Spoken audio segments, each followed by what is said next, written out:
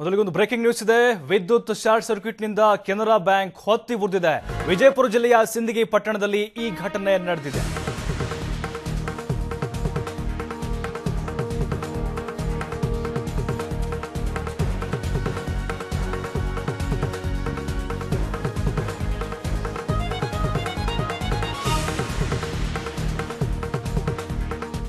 ವಿದ್ಯುತ್ short ಸರ್ಕ್ಯೂಟ್ನಿಂದಾಗಿ Canara bank ಹೊತ್ತಿ ಉರಿದಿರುವಂತಹ ಘಟನೆ ಇದು. ವಿಜಯಪುರ ಜಿಲ್ಲೆಯ ಸಿಂದಗಿ ಪಟ್ಟಣದಲ್ಲಿ ನಡೆದಿದೆ. ಸಿಂದಗಿಯ ಸಂಗಮ್ ಲಾಡ್ಜ್ ಬಳಿ ಇರುವಂತಹ ಕೆನರಾ ಬ್ಯಾಂಕ್ ಹೊತ್ತಿ ಧಗ ಧಗನೆ ಉರಿದಿದೆ ದಾಖಲೆ, ಪೀಠೋಪಕರಣಗಳು ಬೆಂಕಿಗಾಹುತಿಯಾಗಿದೆ. ಅಗ್ನಿಶಾಮಕ ಸಿಬ್ಬಂದಿಯಿಂದ ಬೆಂಕಿ ನಂದಿಸುವ ಕಾರ್ಯ ನಡೀತಾ ಇದೆ. ಅಗ್ನಿಶಾಮಕ ಸಿಬ್ಬಂದಿ ಕೂಡ ಈಗ ತೀವ್ರ ಕಾರ್ಯಾಚರಣೆ ನಡೆಸಿ, ತೀವ್ರವಾಗಿ ಅಂದರೆ ಸಾಹಸಮಯ ಒಂದು ಒಂದು ಬೆಂಕಿ ನಂದಿಸುವಂಥ ಕಾರ್ಯಕ್ಕೆ ಮುಂದಾಗಿದ್ದಾರೆ. ಇದು ವಿಜಯಪುರ ಜಿಲ್ಲೆಯ ಸಿಂದಗಿ ಪಟ್ಟಣದಲ್ಲಿ ನಡೆದಿರುವಂತಹ ಘಟನೆ. ಸಿಂದಗಿಯ ಸಂಗಮ್ ಲಾಡ್ಜ್ ಬಳಿ ಇರುವಂತಹ ಕೆನರಾ ಬ್ಯಾಂಕ್ಗೆ ಶಾರ್ಟ್ ಸರ್ಕ್ಯೂಟ್ನಿಂದಾಗಿ ಬೆಂಕಿ ಹೊತ್ಕೊಂಡಿದೆ. ಧಗ ಧಗನೆ ಬ್ಯಾಂಕ್ ಹೊತ್ತಿ ಉರಿತಾ ಇದೆ. ದಾಖಲೆ, ಪೀಠೋಪಕರಣಗಳು ಬೆಂಕಿಗಾಹುತಿಯಾಗಿದೆ ಸ್ಥಳಕ್ಕೆ ಅಗ್ನಿಶಾಮಕ ಸಿಬ್ಬಂದಿ ಬಂದಿದ್ದಾರೆ. ಬೆಂಕಿ ನಂದಿಸುವಲ್ಲಿ ನಿರತರಾಗಿದ್ದಾರೆ.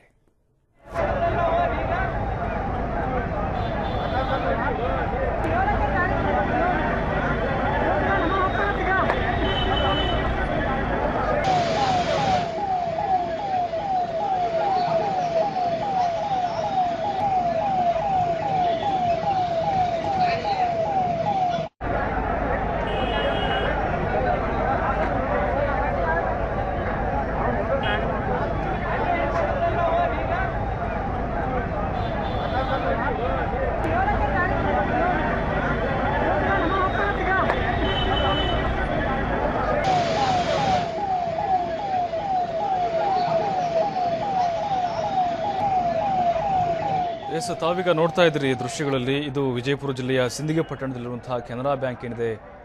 ಬೆಂಕಿಗಾಹುತಿಯಾಗಿದೆ ದಾಖಲೆಗಳು, ಪೀಠೋಪಕರಣಗಳು ಬೆಂಕಿಗಾಹುತಿಯಾಗಿದೆ ಸ್ಥಳಕ್ಕೆ ಅಗ್ನಿಶಾಮಕ ದಳದ ಸಿಬ್ಬಂದಿ ಕೂಡ ಆಗಮಿಸಿದ್ದಾರೆ.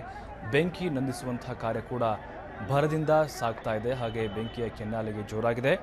ಕೆನರಾ ಬ್ಯಾಂಕ್ ಏನಿದೆ, ವಿಜಯಪುರ ಜಿಲ್ಲೆಯ ಸಿಂದಿಗೆ ಪಟ್ಟಣದಲ್ಲಿರುವಂತಹ ಕೆನರಾ ಬ್ಯಾಂಕ್ ಇದು. ವಿದ್ಯುತ್ ಶಾರ್ಟ್ ಸರ್ಕ್ಯೂಟ್ನಿಂದಾಗಿ ಬೆಂಕಿ ಹೊತ್ಕೊಂಡಿದೆ ಅಂತ ಹೇಳಲಾಗ್ತಾ ಇದೆ. ಅಗ್ನಿಶಾಮಕ ಸಿಬ್ಬಂದಿಯಿಂದ ಬೆಂಕಿ ನಂದಿಸುವಂತಹ ಕಾರ್ಯ ಕೂಡ ಈಗ ಅಲ್ಲಿ ಭರದಿಂದ ಸಾಗ್ತಾ ಇದೆ.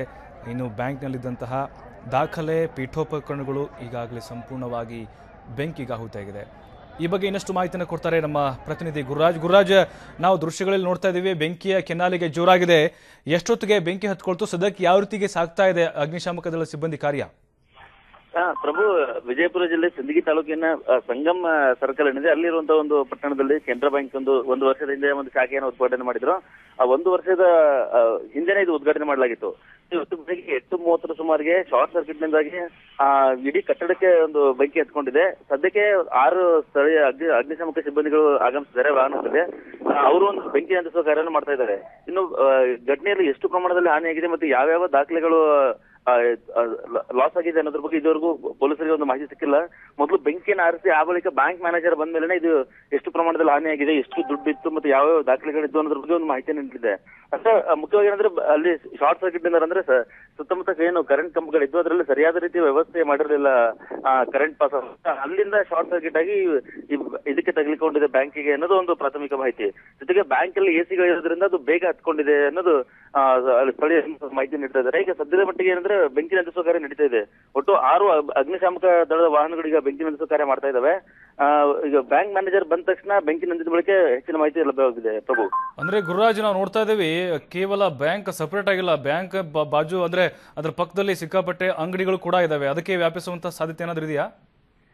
ಪ್ರಭು, ಅಂದ್ರೆ ಈಗ ಎಂಟೂವರೆಗೆ ಅದಕ್ಕೆ ಬೆಂಕಿ ತಾಗಿದ ತಕ್ಷಣನೇ ಅಲ್ಲಿ ಅರ್ಧ ಗಂಟೆ ಒಳಗಾಗಿನೇ ಅಗ್ನಿಶಾಮಕ ದಳ ಸಿಗದೆ ಆಗಿದ ತಕ್ಷಣ ಬೆಂಕಿ ನಂತ ಕಾರ್ಯ ಮಾಡಿದ್ರು ಆಗ ಅದು ಬೆಂಕಿ ನಂದಿದೆ ಕೇವಲ ಹೊಗೆ ಮಾತ್ರ ಬರ್ತಾ ಇದೆ ಈಗ.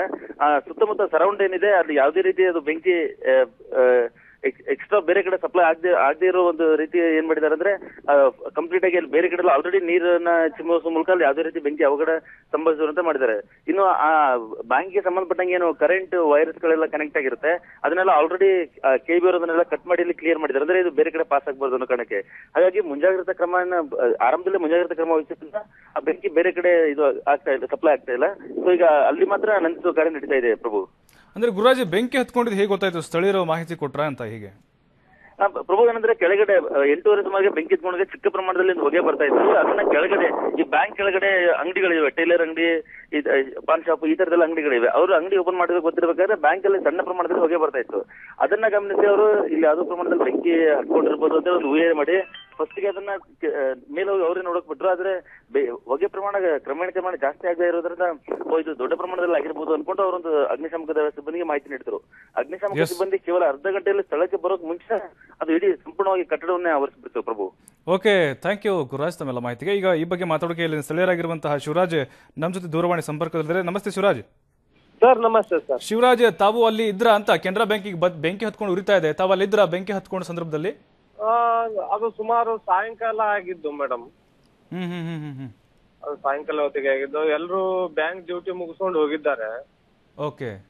ಆವಾಗ ನೈಟ್ ಶಾರ್ಟ್ ಸರ್ಕ್ಯೂಟ್ ಇಂದ ಆಗಿದೆ. ಓಕೆ. ಆದ ಕಾರಣ ಅದು ಯಾರಿಗೂ ಗೊತ್ತಾಗಿಲ್ಲ ಅದು. ಅಲ್ಲ ಶಿವರಾಜ್ ಮತ್ತೆ ಬೆಳಿಗ್ಗೆ ಎಂಟೂವರೆ ಸುಮಾರಾಗಿದೆ ಅಂತ ಹೇಳ್ತಿದಾರಲ್ಲ ಮತ್ತೆ? ಹೌದು ಸರ್ ಅದು ನೈಟ್ ಆಗಿದ್ದು. ಹ್ಮ್ ಹ್ಮ್ ಹ್ಮ್ ಅಷ್ಟು ಅಷ್ಟೊಂದು ಇದು ಹತ್ತಿಲ್ಲ ಅದು. ಓಕೆ ಹಾ ಹಾ ಹಾ ಹಾ. ಬೆಳಿಗ್ಗಿನ ಜಾವ ಕಂಡು ಬಂದಿದ್ದು ಅದು. ಹ್ಮ್ ಹ್ಮ್ ಹ್ಮ್ ಹ್ಮ್ ಹ್ಮ್. ಹೀಗಾಗಿ ಅದು ಬೆಳಿಗ್ಗೆ ಆಗಿಂದಾಗೆ ಮತ್ತು ಅಗ್ನಿಶಾಮಕದವಳಿಗೆ ಫೋನ್ ಹಚ್ಚಿ ಹ್ಮ್ ಹ್ಮ್ ಹ್ಮ್. ಕರೆಸಿ ಅಗ್ನಿ ಇದು ಮಾಡ್ಲಿಕ್ಕೆ ಒಂದ್ ಸ್ವಲ್ಪ ಅನುಕೂಲ ಆಗಿದೆ. ಅಂದ್ರೆ ಶಿವಕುಮಾರ್ ಅಂದ್ರೆ ತಮ್ದು ಅಂಗಡಿ ಇದೆ ಅಂತ ಅಲ್ಲಿ ಏನಾದ್ರು ಪಕ್ಕಕ್ಕೆ?